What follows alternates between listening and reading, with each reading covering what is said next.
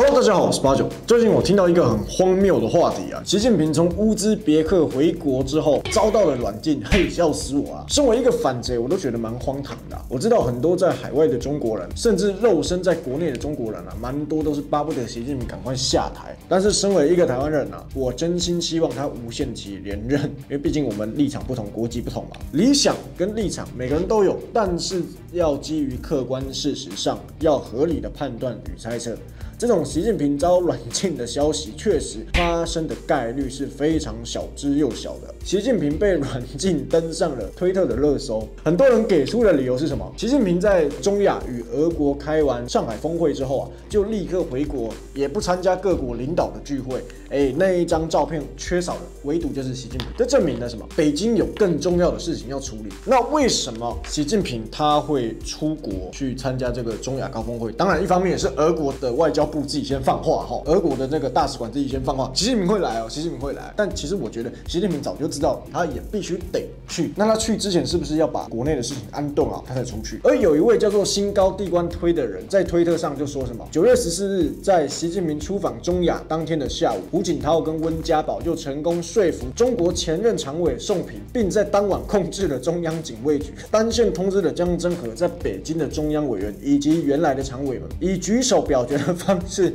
罢黜了习近平的军权。当习近平知道之后啊，九月十六号晚间搭机返回北京的时候，在机场就被控制住了，现在被软禁在中南海的家中。而他也表示，事实上北京现在已经军管了，野战部队都到这个北京了，什么公安武警都不管用了。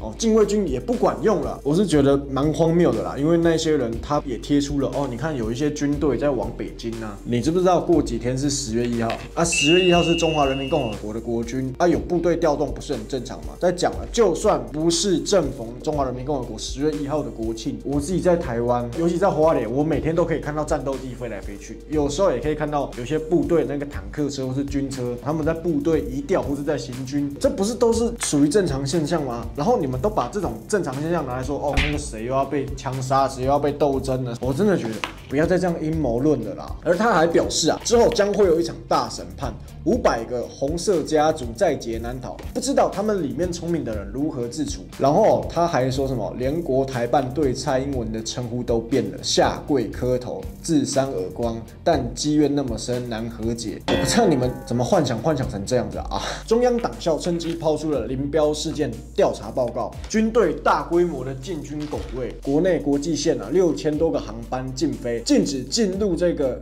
北京的高铁禁运，中共副厅级以上的官员呢禁止出行，并且说到什么军委开会，习近平缺席只能证明一件事，那就是中南海发生了重大的政变，也说明了习近平强制连任已经遭到党内的强烈抵抗啊，习近平的末日已来临了。预计二零二二年十月九号在北京召开的十九届七中全会将公布真相，而目前无法证实消息。我觉得我这样听下来，这条比较像是美国登月是假的啊，在自己摄影棚拍的啊，然后这些中国的啊一些东西啊，影片流出来都是美国好莱坞在抹黑。哦，都是漫威特效，但事实上啊，中国面临重大会议或是国庆，本来就会有大动作，再加上现在中国坚持走特色管理政策，如果习近平的权力一旦有被触动到，你就可以看到中国的特色管理会跟以往有非常大的不同。但我从这些迹象没有看到，总统的行程都是在网络上可以公开找到的嘛，总统府自己会发表哦，总统今天要去哪里的行程，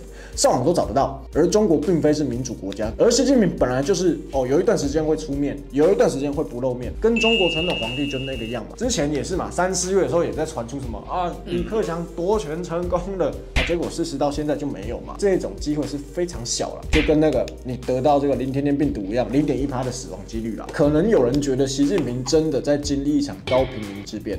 什么是高平陵之变啊？就是三国时代的魏国啊，曹爽认为他已经控制了魏国的政局，便带皇帝曹芳去高平陵祭祖，纪念谁？曹操、曹丕那些人啊。曹爽前脚一走，司马。马懿立刻发动了政变。当然，司马懿那个时候在装孙子嘛，缩头乌龟，但他其实私底下都已经安排的妥妥当当，控制首都与皇后。有人就把习近平比喻成曹爽，而国内那些反习势力，他们就认为是司马懿那一派的。当然了，我看反贼支持声量最大的这个人就是李克强。我们试想一点，你们从三四月就开始在传“礼上习下”这个词，已经讲了大半年之多了啊，习中央是不会知道吗？啊，那请问李克强要怎么解释？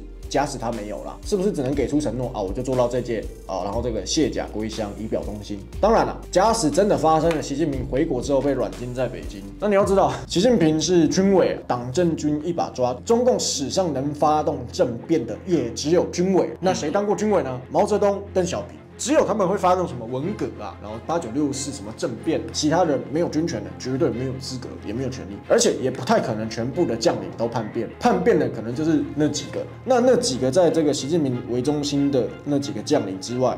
几个应该是少之又少，而如果真的发生这种事情的话，美国早就出来报道了。那么大的刀子还不捡起来用吗？而九月二十五号，新华社发布了，在以习近平同志为核心的党中央坚强领导下啊，党的二十大代表选举工作已经顺利完成了，选举产生出了两千两百九十六名出席的党二十大代表，所以这一些大部分都是以习家军为首的党代表，而这些党的代表会继续投票。让习近平连任啊，反正就是左手交给右手，都是自己人啊。连以前是中华民国台湾国籍的卢丽安这位女性啊，她也再度连任了中共的党代表。她在一九九七年去上海担任教授教书之后，二零一七年呐，不知道为什么就担任了中共党代表，而她也是台湾代表。当然了，她当选之后啊，就遭到了中华民国台湾政府啊开除国籍。所以那些舔共的台湾人，你们要努力一点，你们要努力当上官，努力娶那边的老婆，或是嫁给那边。的男性，然后你要去申请加入他们的国籍，领红色本本的护照，这样我们就可以开除你了，因为我们民主自由嘛，我们不能随便开除你。而中共中央最近的党内斗争也浮出水面了，许多政法高官，包括前中国公安副部长啊、司法部长，还有这个江苏省政法委书记等人啊，都被判处了这个缓死刑。还有像比较小的什么上海公安局局长啊，还有重庆公安局局长啊、山西公安局厅长啊，都分别被判处了十几年不等的牢狱之灾。